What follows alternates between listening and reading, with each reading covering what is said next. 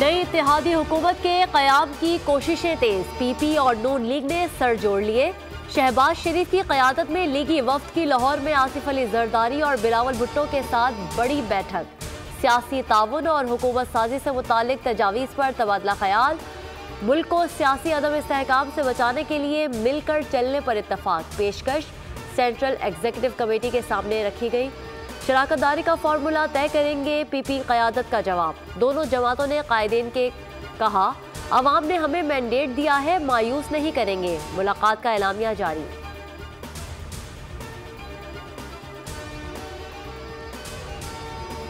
पाकिस्तान पीपल्स पार्टी की central executive committee का इजलास आज इस्लामाबाद में तलब। आसिफ जरदारी, बिलावल भुट्टो मुश्तरका तौर पर इजलास की सदारत करेंगे।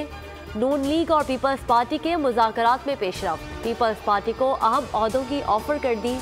नून लीग की जानब से सदर पाकिस्तान स्पीकर कौमी असम्बली और चेयरमैन सेनेट की पेशकश, सीनियर वज़ीर पंजाब और वज़ीर अला बलोचिस्तान की भी ऑफ़र सी ई सी इजलास में हुकूमत साजी से मुतल अहम फैसलों का इम्कान।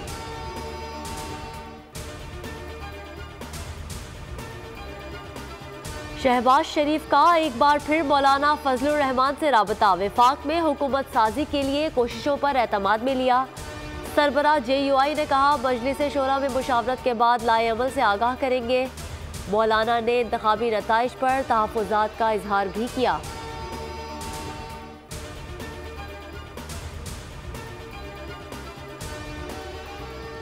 विफाक में हुकूमत साजी का मिशन लाहौर में नून लीग और एम क्यू एम के बड़ों की बैठक। सियासी ताउन और मिलकर चलने पर इतफाक मुलाकात का अगला दौर जल्द होगा। नवाज़ शरीफ की शहबाज शरीफ को एम क्यू एम और पी पी के दरमियान मुसालहत का किरदार अदा करने की भी हिदायत। खालिद मकबूल सिद्दीकी कहते हैं, कुछ लोग मखलूत और कुछ कौमी हुकूमत की बात कर रहे हैं। पी पी समेत तमाम जमातों से बात की जानी चाहिए। सिंध की गवर्नरशिप मांगने की खबरें बेबुनियाद करार।